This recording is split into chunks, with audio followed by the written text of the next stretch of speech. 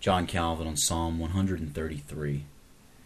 Behold how good and how pleasant it is for brethren to dwell together in unity. It is like the precious ointment upon the head that ran down upon the beard, even Aaron's beard, that went down to the skirts of his garments.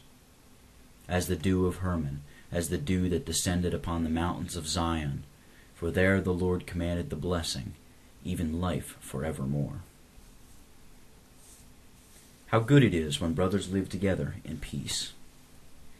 We have here clear proof that David holds all true union among brothers to take its rise from God, and to have this for its legitimate object. That all may be brought to worship God in purity and call upon his name with one consent. Would the similitude have been borrowed from holy ointment if it had not been to denote that religion must always hold the first place? Any concord, it is thus insinuated, which may prevail amongst men, is insipid, if not pervaded by a sweet savour of God's worship.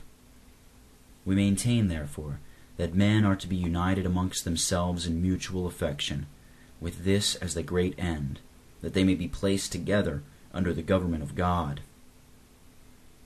It is as if the dew of Hermon were falling on Mount Zion. A holy unity has not only a sweet savour before God, but is productive of good effects as the dew moistens the earth and supplies it with sap and freshness. Moses, we knew, said of Judea that it was not like Egypt, fertilized by the overflowing of its river, but such as drank daily of the rain of heaven. Deuteronomy 11, verse 11.